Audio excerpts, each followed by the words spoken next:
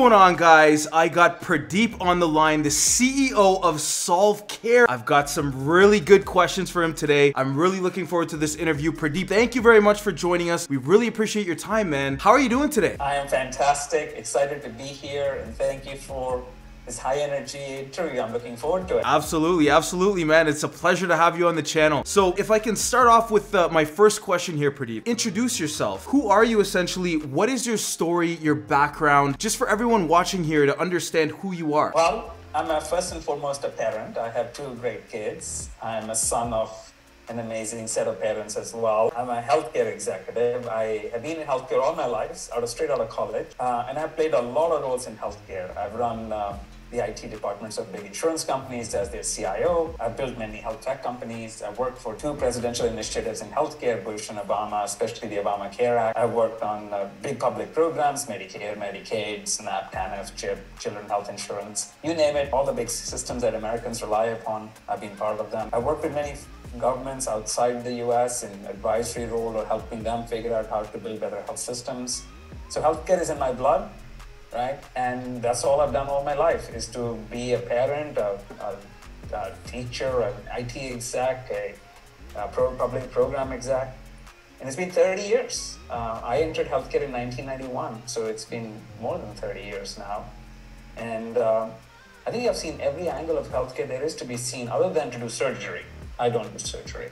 Okay. Everything you know else I have been part of in one way or the other in a very meaningful way. Nice, nice. Well, I gotta say, Pradeep, you have quite the credentials, man. And for someone with your credentials and background, being involved in such a high profile project, it makes me feel very, very comfortable when exploring your project and kind of wanting to learn more about it and pitching it to everyone that's watching as well, right? Um, we're always looking for high quality projects here, and I definitely want to say yours fits that profile. Well, thank you. And it is a challenging project. I mean, I started SolveCare six years ago, and my mission was that I want to make a difference in healthcare that I have been unable to do for the previous 25 years. Uh, so to put things in perspective, you know, I have personally overseen IT spend in healthcare in the billions, not millions, but billions. I've seen and bought big systems, eligibility, enrollment, payment, adjudication, disease management, care coordination, coordination of benefits, you name it, I've done it. And as a CIO, I've written big checks. But I've never been able to say to myself, hey, what I'm doing is actually helping my mom or my grandma or my kids actually get better care. So having seen it all and done it all, I started to ask the question, what is going to be my impact on healthcare on, in the world and healthcare? And I fundamentally came to the conclusion that we are not leaving the next generation a good model, that we have created lots of barriers in the name of efficiency and utilization management and revenue cycle management, fancy words we love to use in healthcare, but everything we do actually erects another barrier oh, you can't go see this doctor. Oh, no, you can't go see the specialist without my approval. Oh, no, you can't, you gotta pay more copay. Oh, no, you can't buy a uh, brand name drug. You gotta buy a generic. You know, everything we've done in healthcare for the last 30, 40 years is to erect more barriers. And I said to myself one day, especially when my son needed healthcare and I was experiencing healthcare as a parent, that this is not the world we want to leave for the next generation because you deserve better. So I said to myself, you know, there are real fundamental problems in healthcare, and a big problem in healthcare are these silos silos of data, silos of care access, silos of payment. It's not just data, it's the whole infrastructure is designed to be these siloed networks. And they don't talk to each other, and you gotta be in the right network to get the right care. And if you're unlucky to be in the wrong network, well, sorry, but suffer. That's wrong. And people suffer from this all day long. My family does too. So, the end of the day, the, the mission was to do something fundamentally different. So, six years ago, I started Solve Care with the idea that we're going to do the very, very, very hard thing. And we're going to reimagine healthcare computing infrastructure, which is without silos, where it's open, it's secure, it's permissionless, it's trusted, but it is not controlled by one party, and it's going to be available to everybody the patient, the doctor, the pharmacy, the lab, the insurance company, the employer, the government, the hospital, the, the, the anybody who is involved in your and my healthcare should be able to use the same infrastructure because they can trust it and because nobody's benefiting from this infrastructure inappropriately. So that's the mission. It's a huge one. It's a tough one. It is not, you know, simple token swapping or yield swapping or staking. It's a way harder problem you're solving. But I'm really excited. We are where six years later, where I can truthfully say that I have, the team has largely achieved the vision. It was not an easy road, but man, we are very excited. We are where we needed to be. That's great to hear. That's great to hear, Pradeep. Now, I think that you've you've answered my next question a lot within within that explanation there. So thank you very much. But let me let me just ask it anyway. And I mean, if there's something that you want to add to your answer or add to what you were just saying there, um, absolutely feel free. So my my next question for you is, what exactly is Solve Care? But I mean, you've you've explained that largely in in your previous response. But was there anything that you wanted to add to that as well? Yeah, SolveCare is a lot of things, but fundamentally, we are like the Salesforce.com of healthcare. So we are a platform on which the enterprise, be it the hospital or the pharmacy network or the doctor or the doctor, uh, the, the group of doctors, anybody who needs to deliver healthcare to patients can build digital health solutions in a very quick, fast, and efficient way. And then on the flip side, any healthcare consumer anywhere in the world can access our platform to, to get access to quality content, to get access to care, to be able to make payments, to be able to manage their data, and to be able to do safe and secure communication with parties they need to talk to inside a care delivery protocol. So, and all of this is built on something called proof of competence where you and I can interact on our chain. And all I need to know to interact with you is that you are a qualified doctor, but I don't need to know anything more about you. And all you need to know about me is that I'm a patient looking for a certain type of care. Let's say uh, I'm interested in managing my diabetes. And we can interact with each other using that knowledge of need, but we don't need to sh- share our identity with each other till we really need to do so. So we have created a zero knowledge data identity business logic transaction execution and payment capability where we can know about each other but we don't need to know each other. And that becomes really important when you're talking about connecting any patient in the world to every doctor in the world. The only way you can do that is if you implement this open infrastructure like ours so it's basically, you know, people use blockchain to interact and transact with each other. We are using blockchain to connect patient, doctor, pharmacy, lab, insurance company in a way that everybody is protected. Nobody gets to write the rules arbitrarily. And surprisingly, it's actually good for business. It actually reduces the liability from an insurance point of view. It actually makes the hospital be more efficient it actually makes the patient more engaged. It actually makes the doctor happier because they don't have to waste their time doing a ton of bureaucratic stuff. So the idea of care chain, which is the core product of SolveCare, and the SolveCare platform, which is called Care Platform. So we have care chain and Care Platform. And the combination of those two lets you basically address any healthcare scenario you can imagine.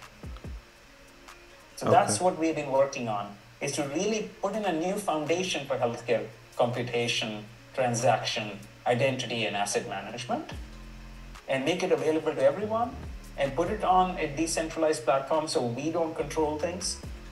Only the parties who use it control their respective nodes and their respective data, but they don't need to worry about what is any big brother standing in the room, you know, doing things to benefit from you talking to your doctor inappropriately. There is no such you know, profiteer in the middle. Right. So that's the idea. And it's starting to work really well because we are starting to see major hospitals, US and worldwide, lots of individual practitioners, physicians, pharmacists starting to adopt the chain and the platform. So we are more than a chain, but we are fundamentally a chain with a whole lot of functionality layered on top of the chain to let you do pretty much any healthcare you know, system you want to build on our platform. Very interesting. Very interesting. I gotta say that that explanation gives me a really good grasp on what you guys are all about, and um, it kind of leads me to my next question as well. So, can you talk a little bit about the launch of CareChain? You had mentioned CareChain, and and what brings it to the blockchain industry, um, playing its part within the Solve Care ecosystem per se. I tell you a funny story about blockchain. So when I left, you know, my corporate um, role and I came to start Solve Care, of course, my colleagues are, you know, insurance company CIOs or government program administrators, you know, DC and New York and all the, the big players in healthcare. So I said, I'm going to use blockchain to build this open healthcare fabric. We're going to break all the silos down. And they said, what happened to you? You used to be one of us. And now you are playing with a bunch of crazies, right? These, what is this blockchain, Bitcoin, and all these uh, things that are going on, and there's a bunch of scammers and what happened to you? How did you go from running insurance companies to running software? And I said, because if you look beyond the, the noise, blockchain represents a first true opportunity in a hundred years to fix healthcare. And everybody in blockchain is using it to do something else, whatever they think is appropriate, but nobody even understands healthcare enough to figure out how to use blockchain the right way. And I think I understand how, what the real value of blockchain is going to be but it's going to take a few years for people to catch up.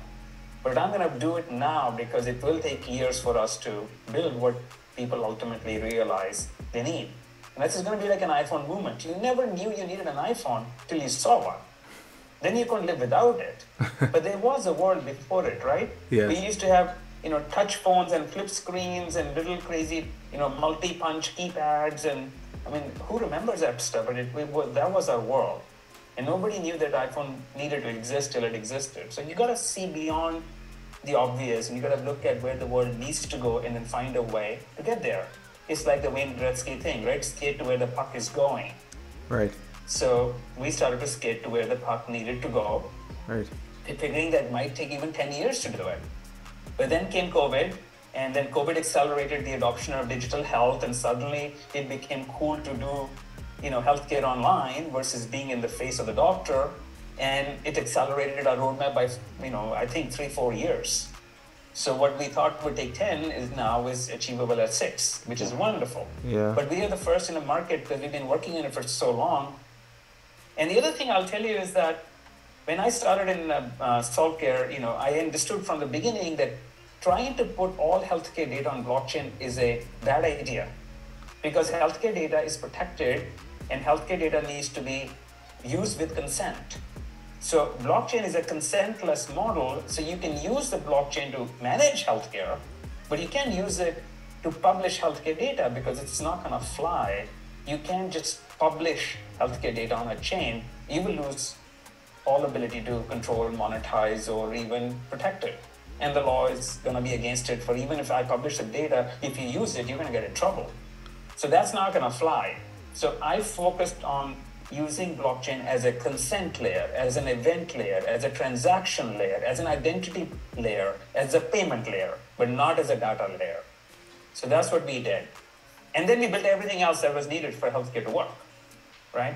So that brings us to where we are today. What are we, you know, how did we get into blockchain? Because there is no other way that I know of today that I can build a system that parties who don't trust me can trust that system.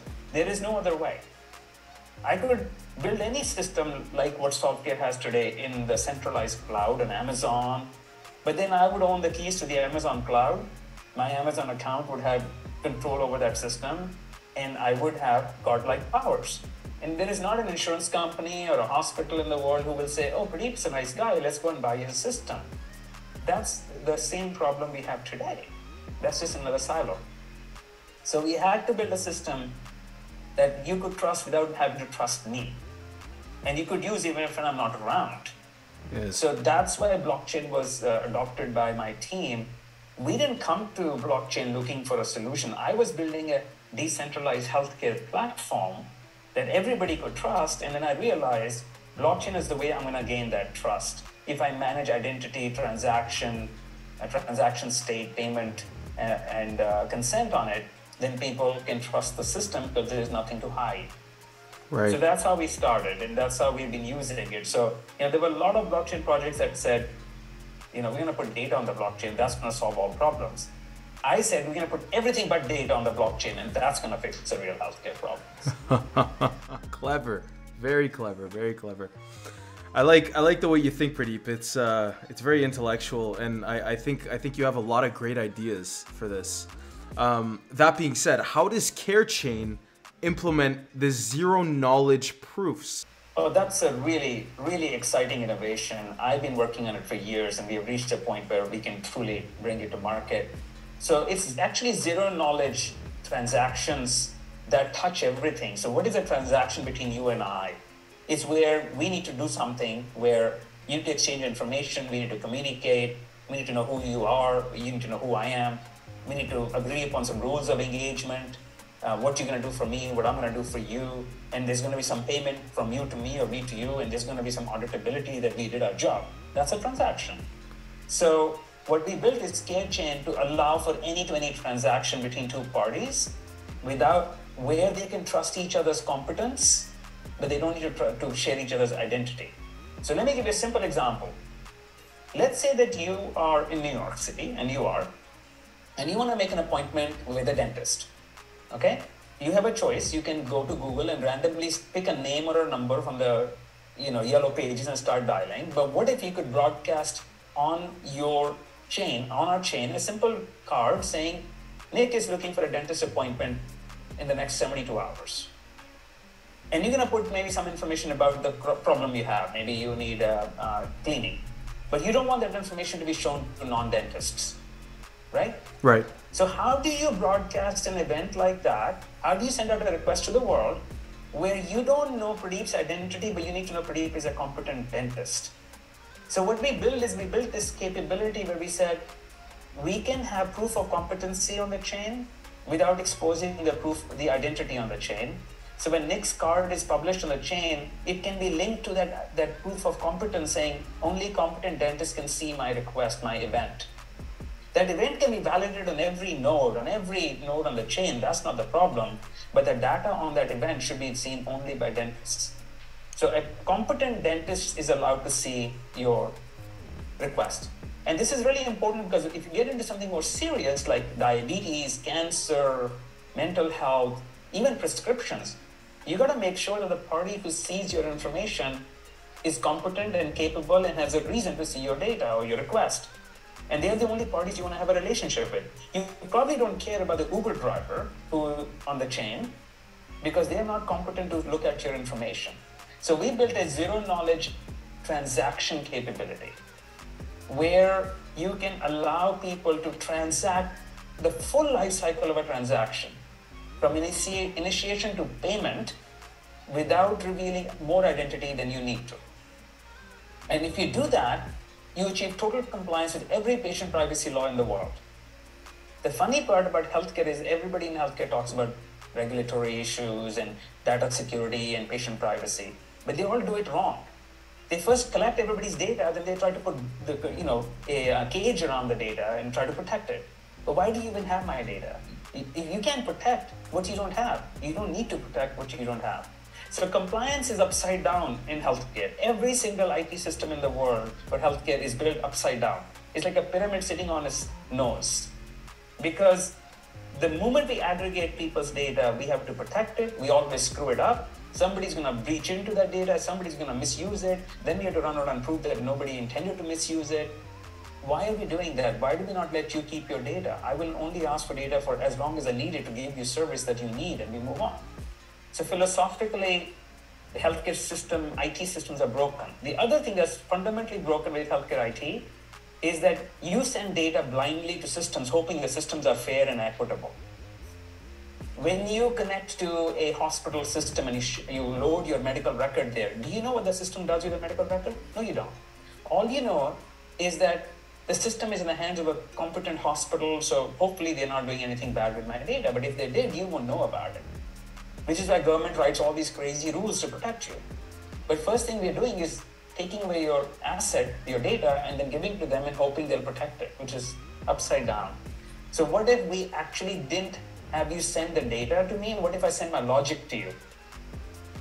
So what if you could actually get a card from me on the chain, which would let you book an appointment like Calendly, right? And that card could check your all your information and make an assessment and say, oh, Nick needs to come in for a cleaning. Instead of you sending in all your history, why don't we send the logic to your data and let the data sit with you and then logic comes to you, it interacts with your data, it tells you what to do, and we are done. So healthcare will look infinitely better if we stop moving data around and we start moving logic around. And that's what CareChain does. In your perspective, where do you see the real world utility in the blockchain?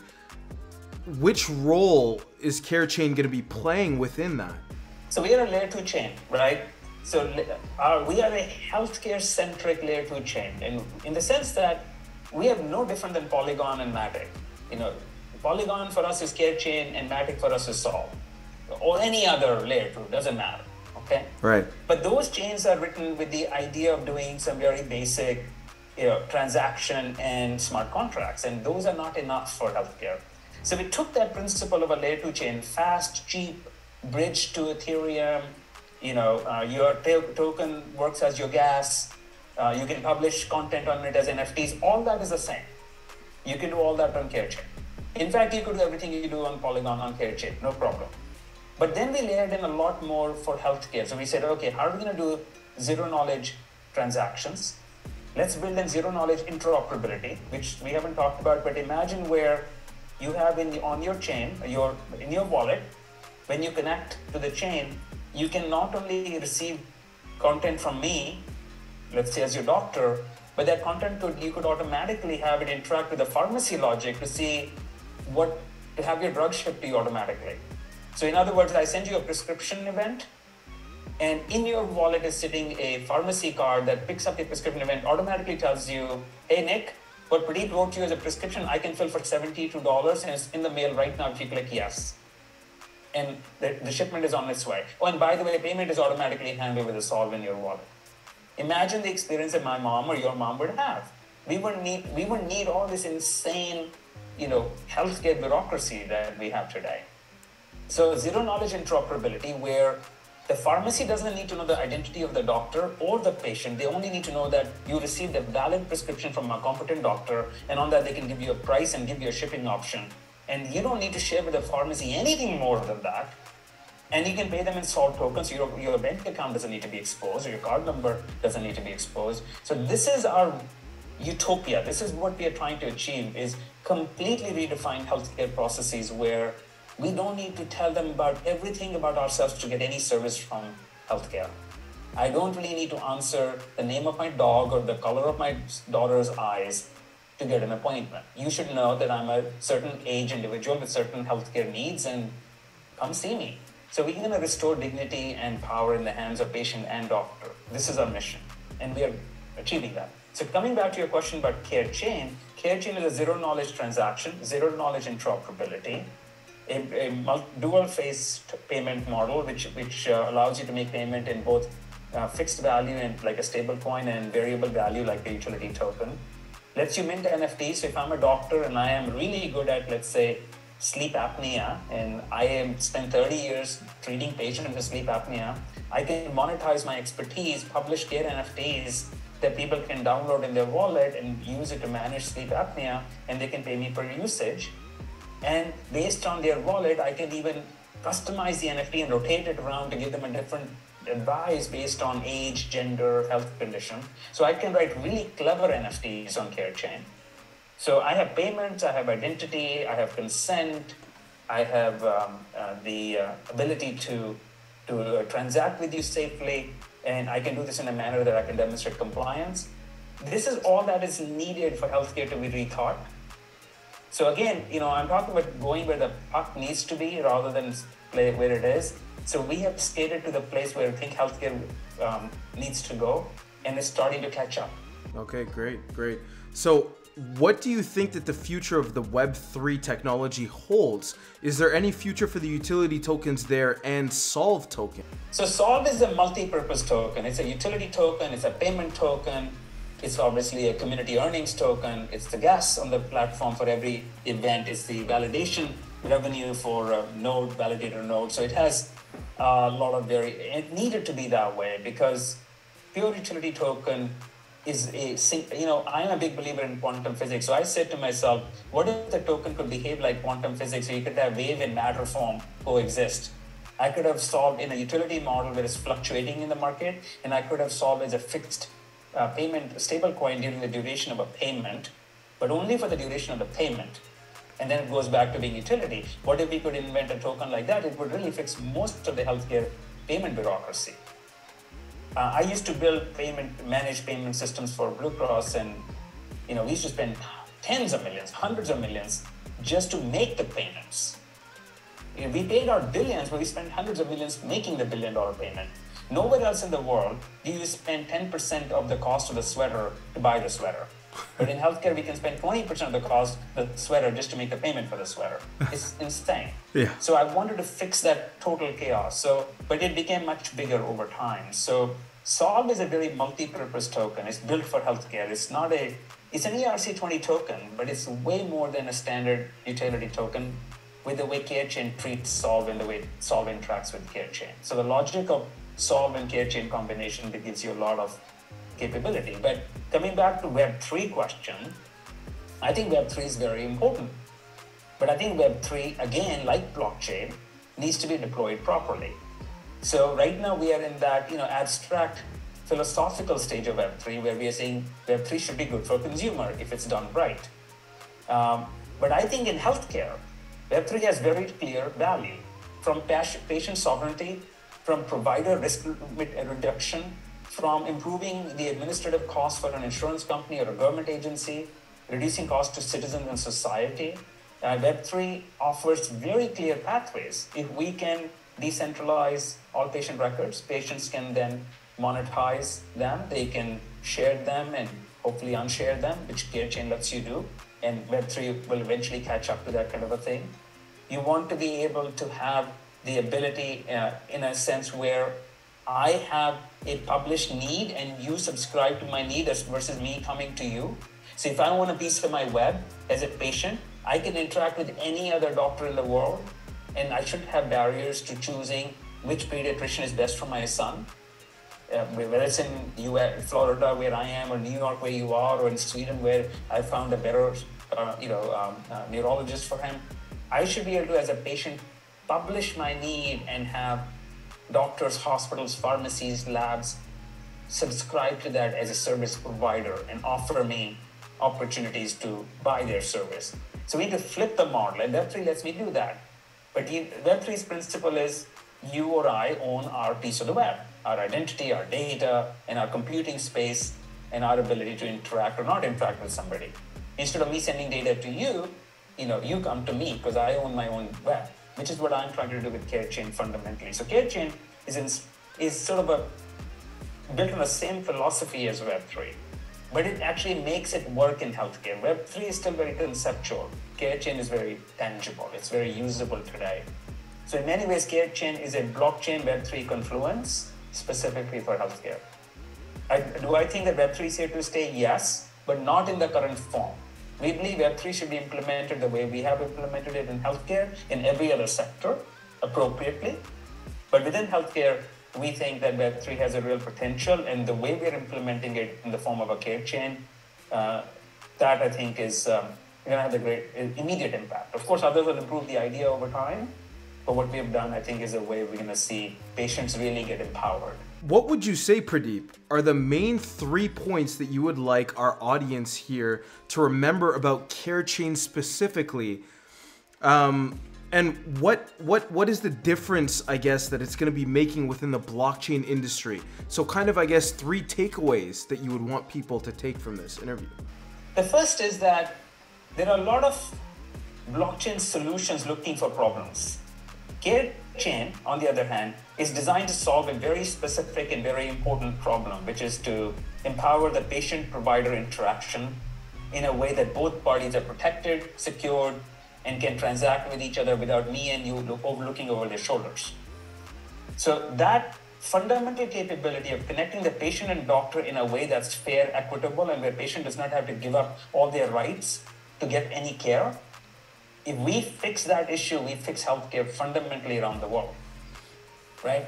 So that's what Care Chain is built to do from the ground up. It's not a chain we built, then look for a problem to solve. You know, you hear a lot about that. No.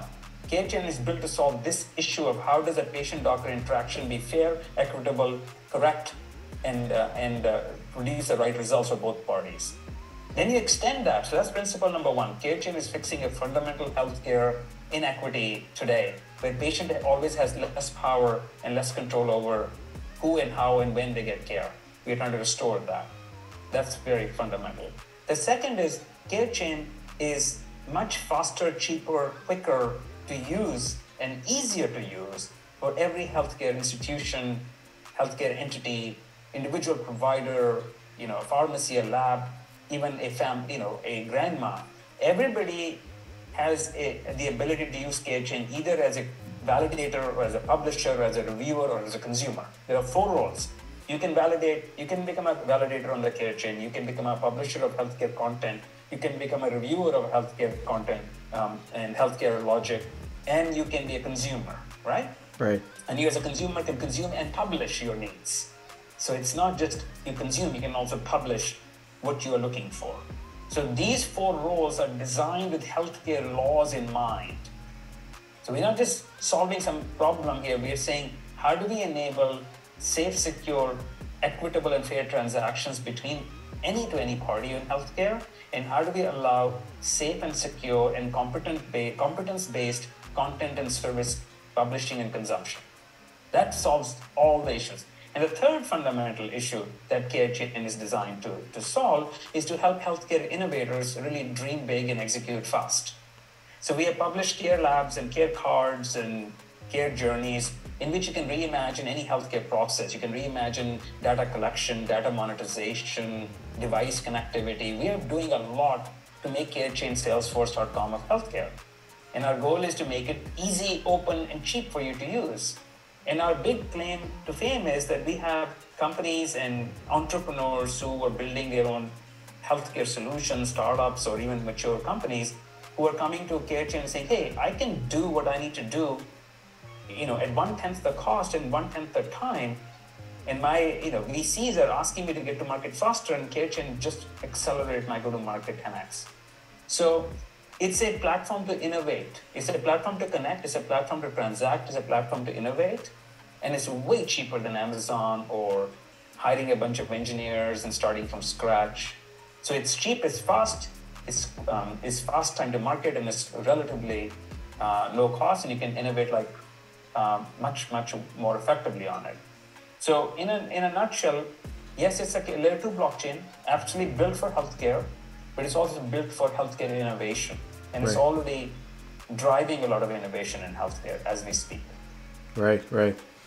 Great. And Solve powers it all. Sorry, just wanted to say that Solve is sure. a pragmatic care chain. Yep. For every, you know, minting, publishing, validating, consuming, interacting, transacting, um, you consume a little bit of Solve.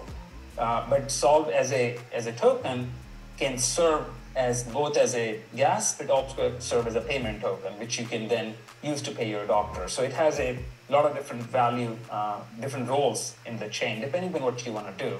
Right. So combination of Solve, CareChain, and Care Platform, in our opinion, addresses most of the barriers to innovation and transformation of healthcare. Good. So my last question for you, Pradeep. Why does the world need another layer two blockchain, would you say? Well, as, um, I touched upon that a little bit, so I'll summarize that.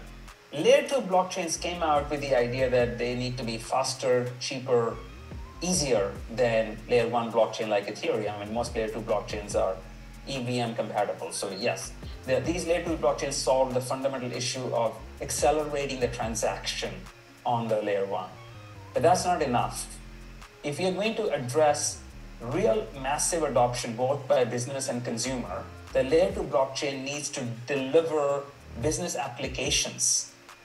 You can't just say, well, I can swap tokens or I can execute a smart contract and that's the purpose of my layer 2. Yeah, you can do something fast, but it doesn't do much for me as a business or as a consumer.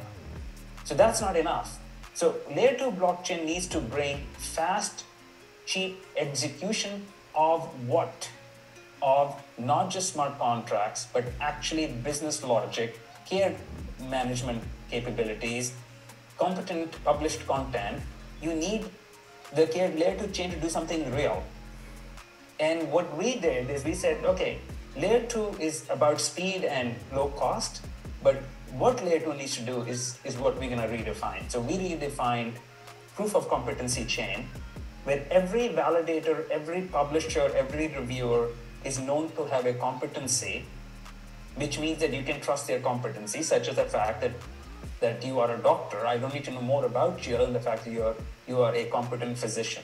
So every actor on the chain needs to be able to publish, consume, transact with other parties in a defined role. So CareChain is a role-based, known role, unknown identity, and a complete application framework for doing so. So yeah, you can build smart contracts, but they're not good enough.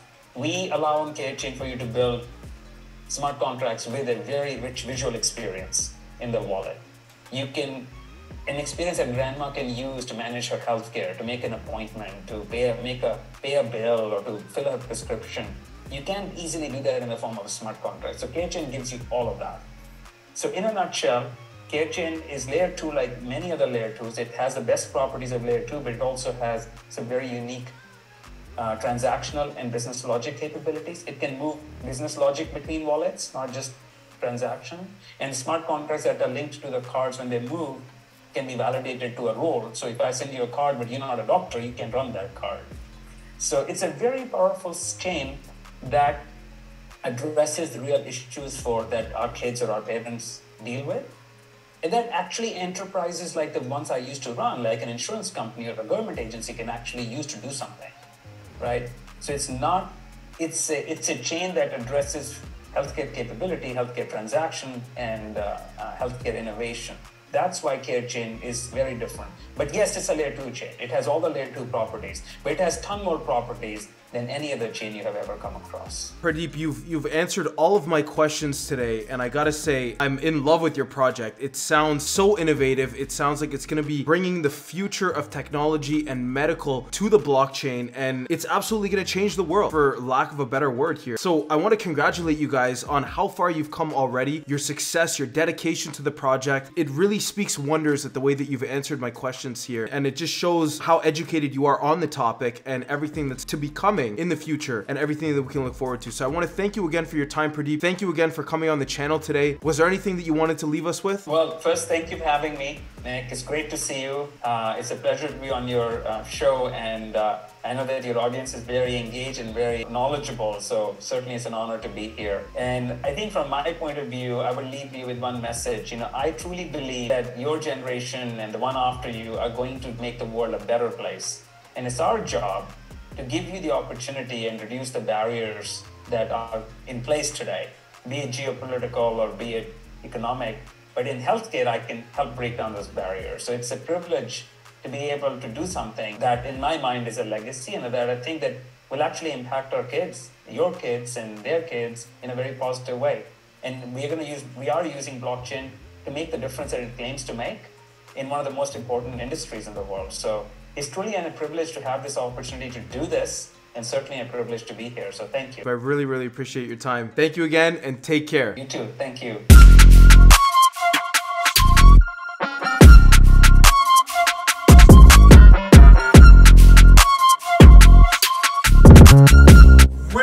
You enjoyed that video, guys. Make sure you hit that like button and the subscribe button if you're interested in seeing some more crypto reviews and exclusive international blockchain events.